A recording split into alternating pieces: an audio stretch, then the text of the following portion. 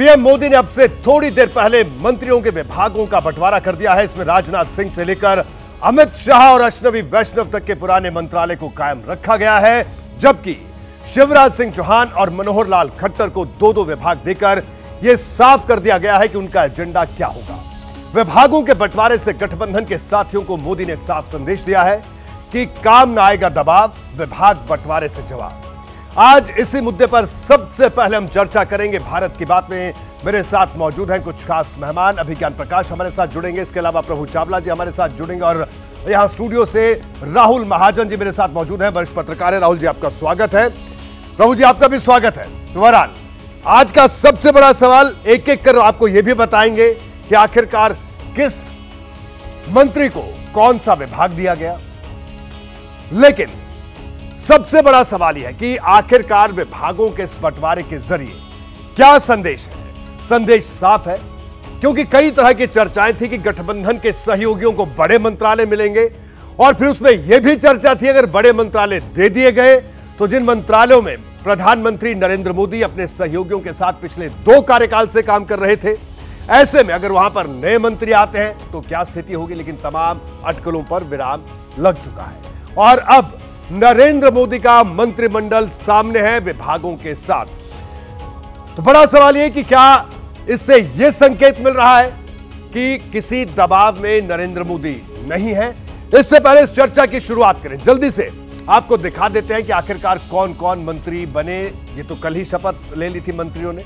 लेकिन विभाग किस किस को क्या क्या मिले? राजनाथ सिंह को रक्षा मंत्रालय दिया गया, पहले भी उन्हीं के पास था। इसके अलावा अमित शाह की बात करें, गृह मंत्रालय उन्हीं के पास था। नितिन गडकरी की अगर बात करें तो सड़क परिवहन उन्हीं के पास था। पहले जेपी नड्डा स्वास्थ्य मंत्री बने, साथ में केमिकल फर्टिलाइज़र। लेकिन मोदी वन में वो स्वास्थ्य मंत्री रह चुके हैं। इसके अलावा शिवराज सिंह चौहान, कृषि ग्रामीण विकास, इनको दिया गया है। बड़े दो महत्वपूर्ण मंत्रालय। और निर्मला सीतारमण को वित्त कॉर्पोरेट मामले के मंत्री इनको बनाया गया है। एस जयशंकर विदेश मंत्री। मनोहर लाल खट्टर हरियाणा के पूर्व मुख्यमंत्री। शहरी विकास के साथ ऊर्जा मंत्रालय भी दिया गया है। एच डी कुमारस्वामी, भारी उद्योग के साथ स्टील। पीयूष गोयल की अगर बात करें commerce and industries Dharmendra Pradhan शिक्षा मंत्री होंगे देश के, जीतन राम मांझी एमएसएमई मंत्री होंगे, इसके अलावा ललन सिंह पंचायती राज मत्स्य पशुपालन एवं डेयरी विभाग इनके पास होगा। Sarbananda Sonowal, port shipping and जलमार्ग। इसके अलावा वीरेंद्र कुमार की बात करें तो सामाजिक न्याय। के राम मोहन नायडू, नागरिक उड्डयन, ये टीडीपी के खाते से आते हैं। प्रहलाद जोशी, उपभोक्ता मामले और नवीकरणीय ऊर्जा और जुएल ओराम जनजातीय मामलों के मंत्री होंगे। इसके अलावा गिरिराज सिंह की बात करें तो कपड़ा और अश्नवी वैष्णव की बात करें तो रेल सूचना प्रसारण इलेक्ट्रॉनिक्स और आईटी। तो बहरहाल, चर्चा की शुरुआत करते हैं तमाम मेहमान हमारे साथ हैं। सबसे पहले मैं प्रभु चावला जी आपके पास आऊँगा। प्रभु जी, क्या कहेंगे? प्रधानमंत्री नरेंद्र मोदी के मंत्री विभागों के साथ सामने है। पहला संदेश कैसे इस तरह से देखा जाए कि किसी दबाव में मोदी नहीं है, सहयोगियों को जगह मिली लेकिन अपने मुताबिक क्या कहना है सर आपका? ये बात ठीक है कि दबाव में नहीं है परंतु दबाव में दिखाई भी देते हैं कि कुमार स्वामी को दो मंत्रालय देने का मतलब क्या है? दो ही एमपी हैं। तो आप कहेंगे कि दबाव नहीं मिला स्टील मिनिस्ट्री बहुत इंपॉर्टेंट मिनिस्ट्री है उनको अलग से दे दी गई है। ये मेरे को अभी तक समझ नहीं आया कि क्यों दी गई है। तो आप दबाव एक तरफ़ से देखते हैं कि चंद्रबाबू नायडू ने सिविल एविएशन मिनिस्ट्री पहले भी रखी थी जब वो एनडीए में थे अब भी हैं। पर इस मंत्रालय का सबसे बड़ा एक जो छोटी खबर के अंदर बड़ी खबर छपी हुई है एक मिनिस्टर जो एमओएस इंडिपेंडेंट इंचार्ज दो डिपार्टमेंट का है। जी। उनका नाम है डॉक्टर जितेंद्र सिंह। वो कैबिनेट मिनिस्टर नहीं है परंतु एमओएस इंडिपेंडेंट इंचार्ज उनके पास दो विभागों का है। वो खास है उनके वो पीएमओ में मंत्री भी हैं एमओएस हैं। पाँच डिपार्टमेंट तो उनके पास एमओएस के रूप में हैं दो इंडिपेंडेंट के चार्ज के रूप में हैं। यानी कि प्रधानमंत्री के बाद सबसे ज़्यादा पावरफुल किसी के पास मंत्रालय हैं? वो डॉक्टर जितेंद्र सिंह के पास हैं सीबीआई भी उनके पास है, और उसके अर्थ साइंसेज भी उनके पास हैं एटॉमिक एनर्जी भी उनके पास है। ये सबसे साइंस एंड टेक्नोलॉजी के वो इंडिपेंडेंट चार्ज हैं। तो बड़े मंत्रालय को छोड़िए वो तो होना था वो तो एक्सपेक्टेड लाइन पे हुआ है। और सबसे बड़ी जो खबर लगता है कि एनडीए सरकार के अंदर मेरे को लगता था पॉलिटिकली एक्सपर्ट जो मैनेजमेंट जानता हो पॉलिटिकल मैनेजमेंट का उसको पार्लियामेंट्री अफेयर्स बनाना मंत्री चाहिए था एक्सपीरियंस होना चाहिए था। किरण रिज्जू अच्छे आदमी है मिलनसार हैं परंतु पॉलिटिकल मैनेजमेंट का एक्सपीरियंस उनको नहीं है। फिटनेस का एक्सपीरियंस ज़रूर है। स्पोर्ट्स मंत्रालय आपने किसी और को दे दिया तो किरण रिजिजू पॉलिटिकल पहली बार हिंदुस्तान की हिस्ट्री में पार्लियामेंट्री अफेयर्स के अंदर नॉन पॉलिटिकल टाइप आदमी को पॉलिटिकल अफेयर्स मैनेजमेंट के लिए रखा गया है। इसका मतलब कौन चलाएगा? मेघवाल साहब हैं उसके अंदर एम दोबारा से लगाए हैं। इंडिपेंडेंट चार्ज भी है उनके पास लॉ मिनिस्ट्री का। लॉ मिनिस्ट्री को उन्होंने अंडरमाइन किया कैपिटल लॉ मिनिस्टर को या फुल फ़्लाइट कैबिनेट मिनिस्टर नहीं है। तो मैं ये कहूँगा इस मंत्रालय के अंदर पुरानी जो मंत्री थे उनको रखा गया है। और ऐसे डिपार्टमेंट जो पंद्रह मंत्री ऐसे हैं जिनके बाद दो दो डिपार्टमेंट हैं। जी। जो उनको अगर देखें तो इसका मतलब ये कि इतना बड़ा मंत्री बनाने के बाद भी आपने एक एक मंत्री को दो दो मंत्रालय दे दिए गए हैं। उसके अंदर अमित शाह से लेकर के जेपी नड्डा से लेकर के आप जाएँगे गजेंद्र सिंह और उसके बाद किरण रिजिजू को भी दो डिपार्टमेंट उनके पास भी किरण रिजिजू के पास एक डिपार्टमेंट और भी है। तो मेरे को लगता है कि कोई कोई एक खाका बना के प्लानिंग करके, के जैसे पहले होता था पीएमओ से ही सारे मंत्रालय चलते थे एंड उनसे गाइडेंस मिलती थी। इस बार भी डिसेंट्रलाइजेशन टॉप के चार पाँच मिनिस्टर को छोड़ करके इस मंत्रालय में कोई बड़ा लगता है कि एक कोई आइडियोलॉजी को लेकर के या कोई जाति को लेकर कि कोई बड़े बैकवर्ड या शुरू क्लास के लोग कोई बड़े मंत्री को नहीं बनाए गए वो वही हैं जैसे पहले हुआ करते थे। तो इस मंत्रालय के अंदर यही है जो एक्सपीरियंस लोग रहे हैं। मैंने पहले भी कहा है गडकरी साहब रिकॉर्ड तोड़ रहे हैं हिंदुस्तान के अंदर सिंस इंडिपेंडेंस कि ऐसे मंत्री होंगे जो एक विद्या एक डिपार्टमेंट के अंदर ग्यारहवा साल लगाएँगे। ट्रांसपोर्ट मिनिस्टर आज तक हिंदुस्तान में कोई भी ग्यारह साल तक एक मंत्रालय में नहीं रहा है। ये सबसे बड़ी खबर है। और डॉक्टर जितेंद्र सिंह दो डिपार्टमेंट रिटेन कर रहे हैं और सारे मंत्रालय रिटेन कर रहे हैं। ये दूसरी बड़ी तो बिल्कुल प्रभु चावला जी का कहना था कई सरकारें कई मंत्रालय इन्होंने देखे कवर किए और इनका कहना है कि डॉक्टर जितेंद्र सिंह सबसे पावरफुल मिनिस्टर होंगे। राहुल जी अगर हम दो पूर्व मुख्यमंत्रियों की बात करें वैसे तो तीन की अगर बात करें तो दो दो मंत्रालय मनोहर लाल खट्टर और शिवराज सिंह चौहान की बात करें किस तरह से इसे देखते हैं आप? देखिए मेजरली आप ये देखेंगे इसमें जो पोर्टफोलियो दिए गए हैं उसमें मेजरली आपको ये एक चीज़ दिखाई देगी कंटिन्यूशन ऑफ़ पॉलिसी जो है जी। वो उसका आभास होता है। जिसके पास जो था जैसे बहुत कम मंत्रालय जैसे जल शक्ति मंत्रालय में जो है चेंज किया गया है उसमें जो है सी आर पाटिल जो है उनको लाया गया। तो वो कोशिश है कि वहाँ जो मंत्रालय जल शक्ति का जो पूरा कार्यक्रम है जल से नल और ये सारी चीज़ें इसको आगे बढ़ाया जाए। एविएशन में अगर चेंज किया गया है तो वो कोई खास नहीं क्योंकि वहाँ ज्योतिरादित्य सिंधिया को अगर कम्युनिकेशन दिया गया है तो नेचुरली देश में जो जो मोबाइल और संचार का सारा मामला है वो बहुत तेज़ी से आगे बढ़ रहा है और बहुत तेज़ी से उसमें डेवलपमेंट्स भी हो रहे हैं तो वो देखा गया। अश्विनी वैष्णव का मुझे लगता है कि सबसे ज़्यादा अगर किसी को बढ़ाया गया है वो अश्विनी वैष्णव है। जिनको तीन मंत्रालय जो हैं एक साथ दिए गए। रेलवेज़ क्योंकि रेलवेज़ पेट प्रोजेक्ट्स बहुत सारे चल रहे हैं रेलवेज़ के इसलिए अश्विनी वैष्णव हैं।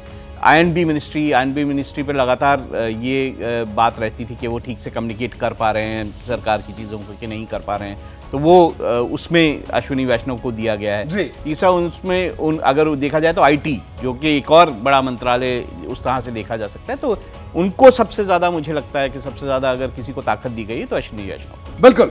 अभी ज्ञान आपके पास आऊँगा। अभी प्रभु चावला जी को भी आप सुन रहे थे उन्होंने बताया कि किस तरह से हम हम ये बात कर रहे थे कि आप किस तरह से देखते हैं। कि क्या मोदी ने यह संदेश दिया इस मंत्रिमंडल में जो विभागों का बंटवारा हुआ कि वो किसी दबाव में नहीं क्योंकि चर्चा थी कि रेलवे किसको जाएगा हो सकता है गठबंधन के सहयोगियों को जाए। हालाँकि ऐसा नहीं है कई बड़े महत्वपूर्ण मंत्रालय भी मिले हैं। लेकिन अगर हम टॉप के पाँच छह मंत्रालयों की बात करें किस तरह से आप देखते हैं जो विभागों का बंटवारा हुआ लोकेशन हाँ देखिए बड़ी बड़ा अच्छा सवाल है इसलिए क्योंकि आप प्रभु चावला को राहुल को अपने आप को मुझे हम लोग वो नहीं है जो जनता है। जनता का एक परसेप्शन बन रहा था कि ये कोएलिशन है ये सिंगल रूल की गवर्नमेंट नहीं है तो इसमें तब्दीलियाँ होंगी। लेकिन इस जो पोर्टफोलियोज का मैनेजमेंट है उससे एकदम क्लियर कर दिया गया है कि ऐसा कोई दबाव नरेंद्र मोदी के ऊपर नहीं है। दूसरी बात जो राहुल कह रहे थे वो बहुत इंपॉर्टेंट है कि एक सेंस ऑफ़ कंटिन्यूटी जो होती है जो सरकारों में दिखनी चाहिए क्योंकि नीतियों के ऊपर सरकारें चलती हैं, वो बिल्कुल स्पष्ट नज़र आ रही है। तो एक तरह से जो एलाइज है बेहतर होगा उनके लिए इस परिस्थिति में अच्छा काम करना, उनके मंत्रियों को, उनके मंत्रियों को अच्छे तरह से एडजस्ट करना इस सरकार में। लेकिन सरकार का जो मूल स्वरूप है कल्चर है, काम करने का तरीका है, नीतियों की कंटिन्यूटी है, उसको कतई भी नरेंद्र मोदी ने छेड़ा नहीं है। उसमें किसी के दबाव में कोई तब्दीली करने की कोशिश नहीं की गई है और टॉप मिनिस्टर्स आप देख ही रहे हैं कि उनको नहीं चेंज किया गया है। जिनकी परफॉर्मेंसेस बेहतर थी उनमें से किसी को हाथ नहीं लगाया गया है। तो इन सब चीज़ों को देखते हुए डोमिनेंस बीजेपी की बिल्कुल स्पष्ट है और अभी की स्थिति में एडजस्टमेंट का ओनस जो है वो ज़्यादा एलाइज पे होगा। आगे आगे जाके क्या होता है तो हम लोग कोई भविष्य वक्ता नहीं है, यहाँ पर नहीं बता सकते, लेकिन अभी की स्थिति में ये स्ट्रक्चर उसका नज़र आता है। बिल्कुल। मैं प्रभु चावला जी, एक बार फिर आपके पास आऊँगा। देखिए, जब भी भारतीय जनता पार्टी की सरकार बनती है तो बिल्कुल ये चर्चाएँ अटकलें लगती हैं कि संघ संघ का दखल क्या है, कैसे। लेकिन अभी जो मंत्रालयों का जो बंटवारा हुआ है, और खास तौर पर एचआरडी की बात करें तो धर्मेंद्र प्रधान के पास ही है, जो कि जो इस पूरे विचार परिवार की बात करें तो संघ परिवार से निकले हुए नेता हैं तो क्या इसे किस तरह से आप देखते हैं? दो तीन डिपार्टमेंट आप देखेंगे इसके अंदर एक कल्चर डिपार्टमेंट भी है जिसमें शेखावत जी को दिया गया पहले कृष्ण रेड्डी के पास था अब उनके पास चला गया वो भी संघ के बैकग्राउंड से आते हैं। एचआरडी के ऊपर डॉक्टर मुरली मनोहर जोशी के ज़माने से शुरू हुआ था कि उस वक्त एच मिनिस्टर उनको बनाया गया था। तो एनडीए सरकार के पहले के अंदर के संघ के ही लोग जो तबते हैं एच आर डी मिनिस्ट्री में रहते हैं अब एजुकेशन मिनिस्ट्री हो गई है। तो धर्मेंद्र प्रधान को वापस लाया गया वहाँ पर स्मृति ईरानी से शुरू किया था स्मृति ईरानी को बदल के बाद धर्मेंद्र प्रधान को आए थे उसके प्रकाश जावड़ेकर आए थे वो भी आर के थे। तो इसलिए आप देखेंगे कि जो आरएसएस का इनपुट है इसके अंदर जगत प्रकाश नड्डा है अब ऊपर से लेंगे नरेंद्र मोदी भी आरएसएस के हैं। अमित शाह भी आर एस एस के हैं, राजनाथ भी आर एस एस के हैं तो 24 मंत्री जो कैबिनेट दे रखे हैं, चौबीस के में से बाईस आर एस एस के पक्के बैकग्राउंड के लोग हैं। सर आइडियोलॉजिकल ये देखेंगे, मोदी जी ने आरएसएस के इम्पोर्टेंट लोगों को इम्पोर्टेंट मिनिस्ट्रियाँ दी हैं।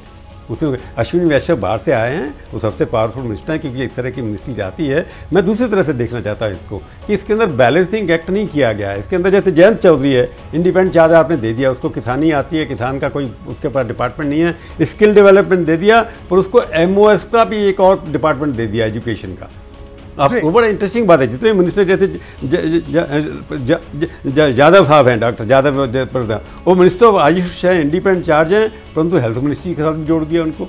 आप इसी तरह से अर्जुन मेघवाल जो हैं लॉर्ड जस्टिस के इंडिपेंडेंट चार्ज है उसके बाद पार्लियामेंट्री अफेयर्स भी जोड़ दिया। तो हर मिनिस्टर के साथ एक एक डिपार्टमेंट और जोड़ दिया गया। बीजेपी के लोगों की पर्टिकुलर ज़्यादा जोड़ा गया है। ऐसा लगता है कि अपने वर्ष अपने कार्यकर्ता जो मिनिस्टर पुराने रहे हैं उनको ज़्यादा बिज़ी रखा जाए। कि कहीं ना कहीं कोऑर्डिनेशन करने की ज़रूरत पड़ेगी एनडीए सरकार के अंदर।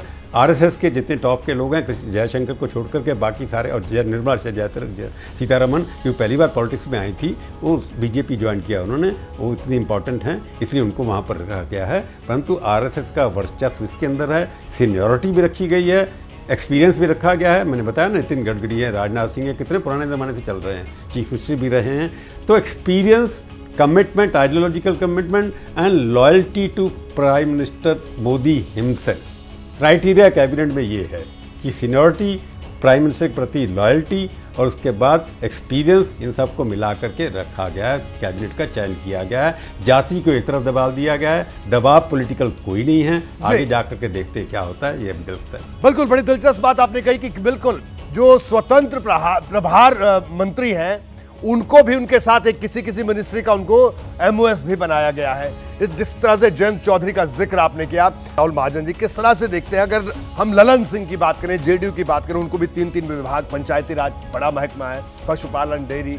और जो बाकी अलाइज हैं, जयंत चौधरी का ज़िक्र भी, प्रभु चावला भी कर रहे थे तो इसे किस तरह से देखते हैं?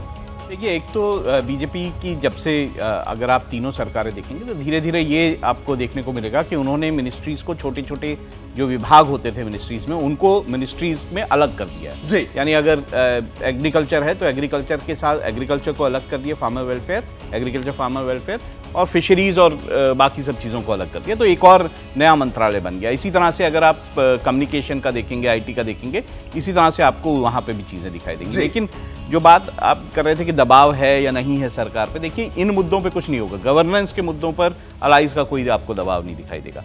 जो मुद्दे बाकी हैं कि यूनिफॉर्म सिविल कोड, आपको मुस्लिम आरक्षण, ये जो बातें चुनावों के दौरान हुई थी, ये ऐसे इश्यूज़ हैं जिस पर टीडीपी और जेडीयू के आपको दबाव दिखाई देंगे। जी, अब हम आगे भी बढ़ते हैं। मैं आपके पास आऊँगा विज्ञान प्रकाश जी। देखिए, चुनावी राज्यों की अगर बात करें, हरियाणा की बात करें, पाँच सांसद चुन के आए तीन को मंत्री बना दिया गया। महाराष्ट्र की भी ऐसे हम अगर बात करें तो विभागों के लिहाज से देखिए मनोहर लाल खट्टर की बात करें, उनको दो दो बड़े अहम मंत्रालय उनको दिए गए हैं।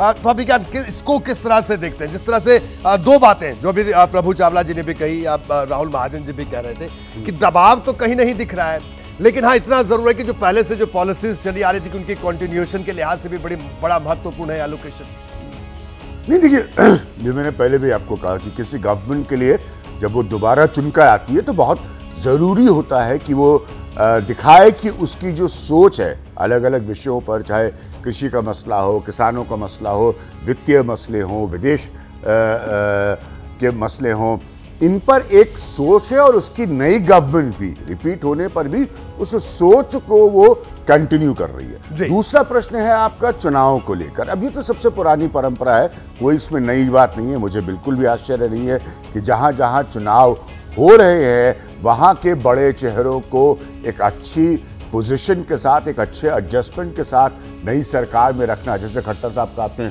उदाहरण दिया, बहुत ज़रूरी है, क्योंकि उसी के थ्रू तो बीजेपी अपना संदेश भेज पाएगी।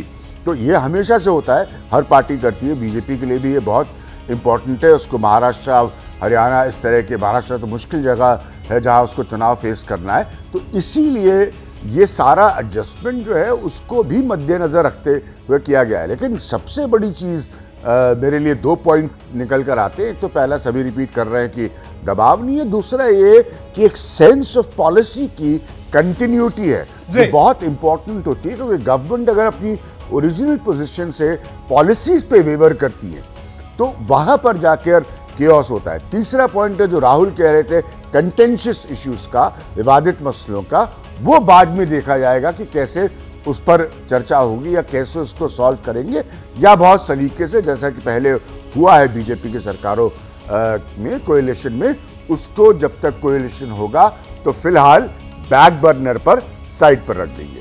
ठीक है, प्रभु चावला जी एक और सवाल था, देखिए शिवराज सिंह चौहान की बात करें, उनको मुख्यमंत्री नहीं बनाया उसके बाद मनोहर लाल खट्टर की बात करें, वो मुख्यमंत्री थे, उनको हटा दिया गया। सर्वदन सोनोवाल की बात करें तो उस लिहाज से इनका जो जिस तरह से जो पोर्टफोलियो दिए गए हैं तो क्या लगता है कि मुख्यमंत्री नहीं बनाया तो यहाँ कहीं ना कहीं उस चीज़ को बैलेंस कर दिया, ये संदेश दे दिया?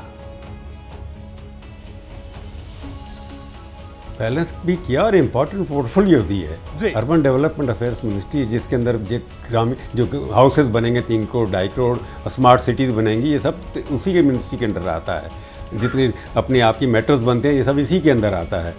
तो जितनी भी इंपॉर्टेंट इंफ्रास्ट्रक्चर आजकल चल रहा है वो मनोहर खट्टर जी के डायरेक्ट दिए गुड़गांव के आसपास जो डेवलपमेंट होना है उसके अंदर भी वही काम करेंगे। इसी तरह से पावर मिनिस्ट्री उनको दे दी। पावर के अंदर डेवलपमेंट हो रहा है रिफॉर्म्स होने हैं काफ़ी सारे डेवलपमेंट हो। रही है हालाँकि दूसरा अपने ऑल्टरनेट ग्रीन एनर्जी किसी और को दे दी है पर पावर मिनिस्ट्री बेसिक इंडस्ट्री है उसको दे दी है। और कृषि जो है कृषि और उसके साथ मिलाकर के हमने पंचायती राज भी उनको दिया बाकी चीज़ें भी दी हैं उनके पंचायती राज नहीं दिया बाकी उनके साथ जो चीज़ें दिए हैं केमिकल फर्टिलाइज़र किसी और के पास है वो जोड़ दिया किसी और के साथ जा करके परंतु कृषि जो है जिसका जीडीपी के अंदर कम होता जाता है उसका विकास जब तक नहीं होगा, भारत विश्व की तीसरी इकोनॉमी नहीं बन सकती, क्योंकि कृषि का 16 परसेंट, चौदह परसेंट जीडीपी के साथ कॉन्ट्रीब्यूशन है। उसके अंदर अगर एक परसेंट भी ग्रोथ होता है तो ओवरऑल ग्रोथ में तीन परसेंट का फ़र्क पड़ता है, क्योंकि वहाँ पर 50 प्रतिशत पॉपुलेशन वहीं काम करती है अभी भी। तो इसलिए कृषि के ऊपर वृद्धि करना उसका विकास करना उससे ही भारत जल्दी से जल्दी ट्रिलियन फाइव ट्रिलियन इकोनॉमी बनेगा और विश्व की तीसरी इकोनॉमी बनेगा। आईटी इंडस्ट्री के माध्यम से केवल नहीं बन सकता क्योंकि सर्विसेज़ सेक्टर का कंट्रीब्यूशन आज 57 परसेंट है जो काफ़ी डेवलप्ड देशों का होता है। तो देश में इम्बैलेंस जो चल रहा है कृषि मंत्रालय अगले पाँच सालों के लिए विश्व में तीसरी अवस्था बनाने के लिए बहुत ही इंपॉर्टेंट है। इसलिए शिवराज जी को काम दिया गया है।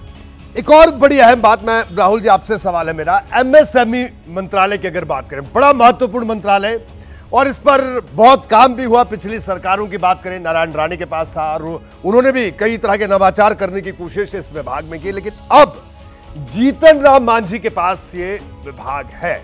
किस तरह से आप इसको देखते हैं?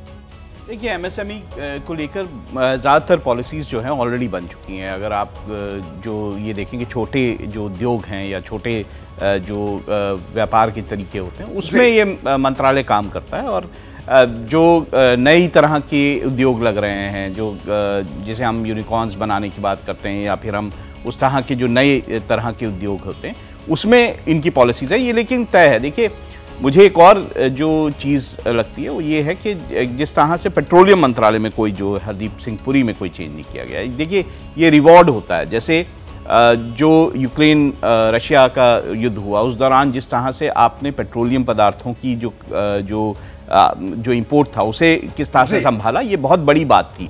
ये पूरा पेट्रोलियम जो है आपकी पूरी इकोनॉमी को ड्राइव करता है। उसमें अगर ज़रा भी गड़बड़ होती है आपकी पूरी इकोनॉमी पे असर पड़ता है। तो ये देखा गया है कि किसने किस तरह से काम किया अश्विनी वैष्णव ने अगर अच्छा काम किया है तो उनको दिया गया है। हरदीप पुरी ने अच्छा काम किया है तो उनको कंटिन्यू किया गया है। इसी तरह से अगर आपका रोड ट्रांसपोर्ट में अच्छा काम किया है तो गडकरी जी को वहाँ पर रखा गया तो चेंज इसलिए देख के किए गए हैं कि किसने जो अच्छा काम किया एक ये बात है और दूसरा ये है कि जो अलाइज को देना था वो तो नेचुरल है।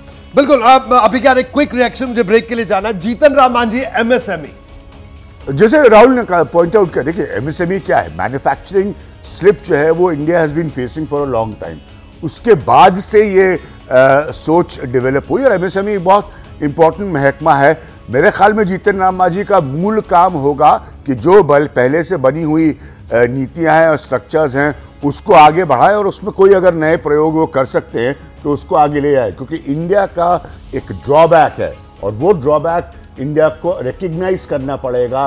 मैन्युफैक्चरिंग का जब से ये गवर्नमेंट आई है।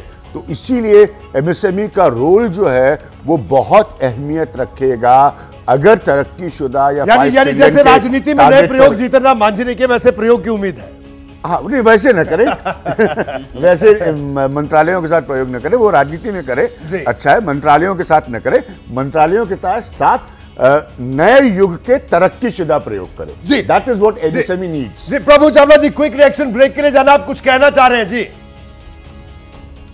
मैं मैं कह रहा, एम एस एम ई में यूनिकॉर्न नहीं आते, वो टेक्नोलॉजी मिनिस्टर में आएँगे। बता रहा twenty nine percent G D P का जो है कॉन्ट्रीब्यूशन एम एस सी आता है। और देश के पचास परसेंट एक्सपोर्ट एम एस करते हैं। जीतराम मांझी वहाँ कहाँ फिट होंगे, मेरे को अभी तक समझ नहीं आ रहा कि एमएससी के अंदर छोटे छोटे घरेलू के लोग हैं। उनकी डिमांड बहुत ज़्यादा है। उनको हैंडल करने के लिए कोई एक्सपर्ट चाहिए था। 29 percent of the GDP ever एक तीसरा रुपया जो है, वहाँ से आता है। तो बड़ा इंपॉर्टेंट डिपार्टमेंट है, उसके ऊपर एम्फेसिस चल रहा था। पहले नितिन गडकरी को दिया गया था, उसके बाद बांटते चले गए। तो ये बड़ा इंपॉर्टेंट जीतराम मांझी के लिए मेरे को लगता है कि ये चुनाव जो व्यक्ति और मिनिस्ट्री दोनों फिट नहीं बैठते। कोऑर्डिनेशन मुश्किल लगता है मेरे को। विभागों का बंटवारा हो गया और हम चर्चा कर रहे हैं कि आखिरकार किस मंत्री को कौन सा विभाग मिला और दो पिछले बार के दो कार्यकाल और अभी तीसरा कार्यकाल, अब कैसे नरेंद्र मोदी की नीतियाँ आगे बढ़ेंगी, ये मंत्री इनको कैसे आगे बढ़ाएँगे? तमाम मेरे वरिष्ठ, हमारे वरिष्ठ पत्रकारों एक बड़ा पैनल हमारे साथ मौजूद है। एक एक करके हम सब लोगों पर चर्चा कर रहे हैं, लेकिन अब मेरा तीनों से एक सवाल है। शुरुआत प्रभु चावला जी से करेंगे। प्रभु चावला जी, शॉकिंग, अगर बात करें शॉकिंग एलिमेंट, ऐसा कौन सा मंत्रालय का वितरण रहा, बंटवारा रहा, जिसने आपको हैरान किया? क्योंकि आपने कई मंत्रालय देखे, कई सरकारें देखी। मैं शुरू में भी कहा फिर से कह रहा हूँ शॉकिंग मेरे को जो लगा मैं अभी तक अपने आप को एडजस्ट नहीं कर पाया हूँ जी। कि एनडीए जहाँ पर घटक दल बड़े इंपॉर्टेंट रोल प्ले करेंगे जिनसे कोऑर्डिनेशन करना पड़ेगा जहाँ अपोजिशन बहुत हावी होने वाली है उनका नंबर ज़्यादा है एग्रेशन भी ज़्यादा होगा वहाँ पर पार्लियामेंट्री अफेयर्स किरण रिज्जू को बनाने के पीछे मेरे को कोई जस्टिफिकेशन समझ में पॉलिटिकल जस्टिफिकेशन नहीं समझ आ रहा। ये सबसे बड़ा शॉकिंग न्यूज़ मेरे लिए है इस मंत्रालय के अंदर। उससे ज़्यादा कभी शॉपिंग न्यूज़ मेरे दिखाई नहीं देती। शिवराज जी एक्सपेक्टेड थे, बाकी जो कुछ भी हुआ है, वो एक्सपेक्टेड लाइन पे हुआ है। रेलवे मंत्रालय जेडीयू के पास नहीं जाना, ये भी एक किस्म से थोड़ा सा लगता है सरप्राइजिंग कि मोदी अपनी बात पर अड़े रहे हुए हैं। तो वो बात दूसरी दिखाई देती है। बाकी सबसे बड़ी है कि पार्लियामेंट्री अफेयर जो इम्पोर्टेंट था, उसमें पॉलिटिकली हैवी वेट कोई नहीं रखा गया है। जैसे प्रहलाद जोशी पहले थे, जिसकी वजह से पार्लियामेंट में झगड़ा होता था, उसी हिसाब से मेरे को लगता है इस बार भी मैनेजमेंट फ्लोर मैनेजमेंट के अंदर, क्योंकि जो एम जो लगाए हैं, वो भी बड़े इनएक्सपीरियंस लोग हैं। जी तो किरण रिजिजू आपने कहा। जी, राहुल महाजन आपसे पूछना मेरा यही सवाल है। आपको क्या हैरान करने वाला ऐसा कौन सा बंटवारा रहा है इस, इस पूरे या सब कुछ आपको किस तरह से देखते हैं आप इसे? मुझे लगता है जितन राम आज ही एक सरप्राइज़ है कि उन्हें एमएसएमई में लाया गया है क्योंकि एमएसएमई बहुत ज़्यादा एक्सपोर्ट और इंटेड और मैन्युफैक्चरिंग और इन सब चीज़ों में है तो वो किस तरह से इसको संभालेंगे ये थोड़ा सा है क्योंकि ज़्यादातर सोचा जाता था कि बहुत ही ज़्यादा जो है यंग डायनमिक किसी मंत्री को जो है एमएसएमई दिया जाएगा पर ये जितने राम मांझी को दिया गया ये थोड़ा सा हैरान जी अभिज्ञान आपका क्या कहना है? आपके लिए क्या शॉकिंग एलिमेंट रहा इस पूरे के दोनों लोगों की बात प्रभु चावला और राहुल दोनों की बात से मैं सहमत हूँ और ज़्यादा मैं प्रभु चावला जी की बात पर जाऊँगा क्योंकि कोएलिशंस में और मैंने भी इतनी सरकारें देखी हैं और बहुत बड़ा रोल हो जाता है पार्लियामेंट्री अफेयर्स मिनिस्टर्स मिनिस्टर का क्योंकि उसका डबल कोऑर्डिनेशन होता है। अपनी ही एलाइज के साथ भी और साथ में विपक्ष भी। और एक पॉइंट जो प्रभु चावला ने रखा उसको और स्ट्रेस करने की ज़रूरत है कि अब ये अभी तक हमें एक सवाल एक स्वाभाविक से सवाल होता था कहा है विपक्ष? जी। ठीक है? जी। अब ये सवाल बदल गया है। अब ये सवाल ये है कि यहाँ है विपक्ष। तो वो आक्रामक होगा। पहले से कहीं ज़्यादा आक्रामक होगा उसके पास वो नंबर्स होंगे जिससे वो ऑपोजिशन नज़र आएगा। जो पहले नहीं नज़र आ रहा था ऑपोजिशन तो इसीलिए पार्लियामेंट्री अफेयर्स मिनिस्टर की भूमिका बहुत बड़ी हो जाती है और ये व्यो वो व्यक्ति चुना जाता है किसी भी सरकार में जिसकी मल्टी पार्टी इंटरपर्सनल रिलेशनशिप हो, कम से कम बातचीत हो, जान पहचान हो कोई कड़वा संदेश लेकर जाना हो तो वो लेकर जा सके कोई स्पेशल सेशन बनाना हो जिस पर विपक्ष आए कि नहीं आएगा उसकी बात कर सके। इसलिए किरण रिजिजू मेरे लिए सरप्राइज़ है। जितन राम मांझी भी मेरे लिए सरप्राइज़ है। लेकिन मैं उनसे उम्मीद करूँगा कि वो थोड़ा अपने अंदर बदलाव लाएँगे और एमएसएमई की अहमियत को समझेंगे उसकी इंपॉर्टेंस को समझेंगे। उम्मीद पर दुनिया भी काम है विज्ञान बहरहाल प्रभु जी में आपसे मेरा एक ये सवाल है कि जो किरण रिजिजू की बात की कि बिल्कुल गठबंधन सरकारों में जो ये मंत्रालय बड़ा महत्वपूर्ण होता है। इससे पहले कि अगर गठबंधन सरकारों की बात करें तो आप किस तरह से, किसे सबसे सफल पार्लियामेंट्री अफेयर मिनिस्टर आप मानते हैं? क्योंकि जो तालमेल है वो बेहद ज़रूरी है और किरण रिजिजू के सामने एक बहुत बड़ी चुनौती है। अगर आम लोगों को समझना हो, क्योंकि ये एक ऐसा मंत्रालय कि आम लोगों से इसका कोई वास्ता नहीं है। लेकिन फ्लोर मैनेजमेंट बड़ी महत्वपूर्ण चीज़ है गठबंधन सरकारों में। मैं एनडीए सरकार के अंदर बात करेंगे आप तो आपने प्रमोद महाजन थे पार्लियामेंट्री अफेयर्स मिनिस्टर, या? सुषमा स्वराज भी थी पार्लियामेंट्री अफेयर्स मिनिस्टर के जमाने में। तो उनके मुकाबले में देखिए किस तरह के मिलनसार व्यक्ति थे किस तरह से एग्रेशन था उनके अंदर इस तरह के दो एग्ज़ाम्पल मैं एनडीए सरकारों में दे सकता हूँ। अब बहुत पुराने जाएँगे भीषम नारायण सिंह के प्रकार के उसके बाद काफ़ी बूटा सिंह काफ़ी लोग रहे हैं। बड़े लोग रहे हैं जो पार्लियामेंट्री अफेयर्स मिनिस्टर का काम करते रहे हैं। तो मेरे को लगता है कि पार्लियामेंट्री अफेयर्स जब प्रमोद महाजन की बात आएगी उसके सामने किरण रिजिजू को आप खड़ा करेंगे तो अपने आप जनता को समझ में आएगा कितना फ़र्क है दोनों के अंदर। हालाँकि रिजिजू बड़े अच्छे आदमी हैं काम बहुत करते हैं उनको लॉ मिनिस्ट्री से कंट्रोवर्सी के लिए हटाया गया क्योंकि उन्हें कंट्रोल नहीं कर पाए थे, क्या बोलना चाहिए? मिनिस्टर को पार्लियामेंट अफेयर मिनिस्टर को तो बिल्कुल बोलना नहीं पड़ेगा कि ऐसा शब्द ना निकले कि बड़ी बड़ी बड़ा हो जाए। सरसंघ चालक मोहन भागवत का बड़ा बयान, मणिपुर में अचानक गन कल्चर बढ़ा है ये बात उन्होंने कही। इसके अलावा और बड़ी महत्वपूर्ण बात उन्होंने कही है। सरसंघ चालक यानी आरएसएस प्रमुख मोहन भागवत का बड़ा बयान मणिपुर एक साल से शांति की राह देख रहा है और मणिपुर पर गंभीरता से विचार करना होगा। यह बड़ी बात कही है मोहन भागवत ने। आरएसएस प्रमुख मोहन भागवत का बड़ा बयान और इसकी टाइमिंग को लेकर भी बड़ा महत्वपूर्ण यह बयान हो जाता है। जिस वक्त ये बयान उनका आया है और टाइमिंग को लेकर भी बड़ा महत्वपूर्ण है। देखिए, मणिपुर पर बड़ा बयान है कि मणिपुर शांति की राह देख रहा है। मणिपुर पर प्राथमिकता से विचार हो। यह बात भी उन्होंने कही है। मोहन भागवत का बड़ा बयान। मणिपुर पर प्राथमिकता से विचार हो। मणिपुर शांति की राह देख रहा है। और अचानक गन कल्चर भी बढ़ा, ये तमाम बातें कही हैं। प्रभु चावला जी, क्विक रिएक्शन संघ प्रमुख का ये बयान और इसकी टाइमिंग को लेकर। बड़ा स्टेट है कि नहीं टाइमिंग भी डाटा क्योंकि वहाँ पर इलेक्शन और मुख्यमंत्री ने आप वहाँ के आज बड़ा स्टेटमेंट दिया था कि सेंटर कुछ करना पड़ेगा। उसके बाद मोहन जी का नोटा है क्योंकि हमेशा आरएसएस नॉर्थ ईस्ट में बड़े स्पेशल काम करता रहा है पिछले पचास साल के अंदर, कि वहाँ पर धर्म परिवर्तन ज़्यादा हो रहा है क्रिश्चियन कम्युनिटी का डोमिनेंस रहा है और मणिपुर पर यह आचार लगाया जाता है कि वहाँ क्रिश्चन के ऊपर ज़्यादा अटैक किए गए। जो मेजोरिटी कम्युनिटी मैथी कम्युनिटी थी उन्होंने क्रिश्चियंस के ऊपर ज़्यादा अटैक किया उनको मारा और क्रिश्चियन की वजह से जो कभी आर एस नदी का आते जा रहे थे वो दूर होते चले जा रहे थे। केरला के अंदर उनको प्रभाव दिया तो आर एस लोगों को फीडबैक था क्रिश्चियन के ऊपर जो पहले जाते कि उनको मेन स्ट्रीम में लाने की कोशिश की जाए तो आर के जो प्रयास चल रहे थे उसके ऊपर धक्का लगा मरीमंड के माध्यम से। इसलिए मोहन भागवती ने करेक्टिव मेजर्स लेने के लिए एक सलाह दी है। जी और ये भी उन्होंने कहा कि सभी धर्मों का सम्मान करना है सभी की पूजा का सम्मान करना है। ये मानकर चलना है कि हमारे जैसा उनका धर्म भी सच्चा है। ये तमाम बातें मोहन भागवत ने कही हैं। राहुल महाजन जी, आपकी प्रतिक्रिया किस तरह से देखा जाए? देखिए, ये सब इस समय और इम्पोर्टेंट हो जाता है क्योंकि वहाँ मुख्यमंत्री जो हैं, वो कहीं जाने वाले थे, उनकी एडवांस जो सिक्योरिटी पार्टी थी, उस पर वहाँ पे अटैक किया गया। तो ये और इम्पोर्टेंट है कि इस वक्त ये बोला गया। वैसे भी बीजेपी पे ये आरोप लगता रहा है कि उसने मिथई और कुकी में जो संघर्ष वहाँ पे चल रहा था दोनों कम्युनिटीज़ में उसमें बहुत ज़्यादा बात नहीं की है। वहाँ जो कुछ हुआ है जितना वहाँ पे जो है जानो माल का की जो हानि हुई है उस पर बीजेपी जो है वो उसने ज़्यादातर चुप्पी साधी है। ये भी आरोप बीजेपी पे लगता रहा है। तो ऐसे में संघ प्रमुख जो हैं उनका ये कहना क्योंकि देखिए संघ का काम वहाँ पे बहुत ज़्यादा रहता है। नॉर्थ ईस्ट में बहुत काम किया जिसके कारण ही बीजेपी को वहाँ सक्सेसेस मिली हैं।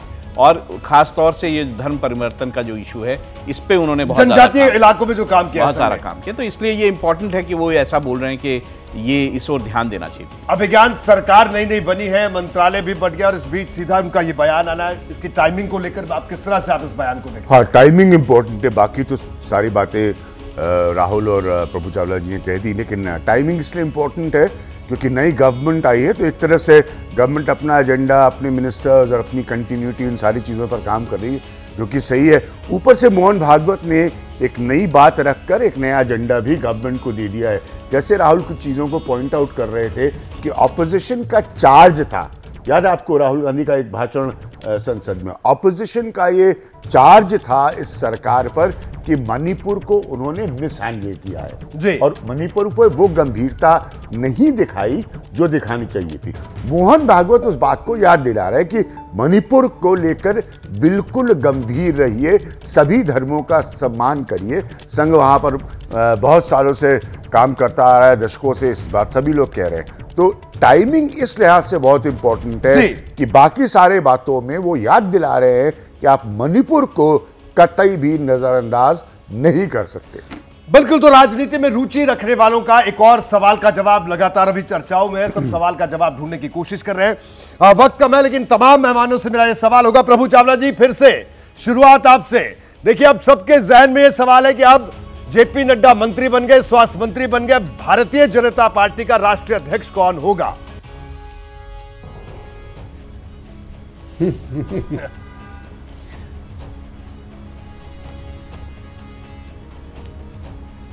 जी प्रभु चावला जी बीजेपी के राष्ट्रीय अध्यक्ष को लेकर।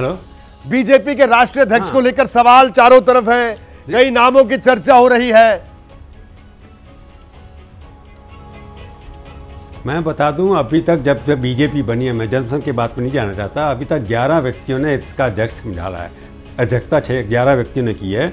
और रिकॉर्ड किसका रहा? सबसे पहले वे अध्यक्ष जो रहे, अटल बिहारी वाजपेयी जी थे, जो उन्नीस सौ इक्यासी लेकर के छियासी तक अध्यक्ष रहे। पाँच साल रहे। उसके बाद किसी ने रिकॉर्ड तोड़ा तो अमित शाह जो है 2014 से लेकर के 2020 तक रहे। परंतु किसी और ने चार साल कोई पूरा किया तो नड्डा और राजधानी ने किया, बाकी दो साल के अंदर हटा दिए गए। और जनक कृष्ण मूर्ति और बंगारू लक्ष्मण तो एक साल में हटा दिए गए थे। जी। साउथ से केवल तीन ही बने थे। परंपरा यही रहती है अध्यक्ष वही बनता है जिसका आरएसएस के ऊपर भरोसा पूरा उनका होना चाहिए। जितने भी व्यक्ति बने हैं सब आरएसएस से जुड़े हुए रहे हैं। अमित शाह क्योंकि मोदी जी प्रधानमंत्री बन गए थे इसलिए अमित शाह उनकी चॉइस थी।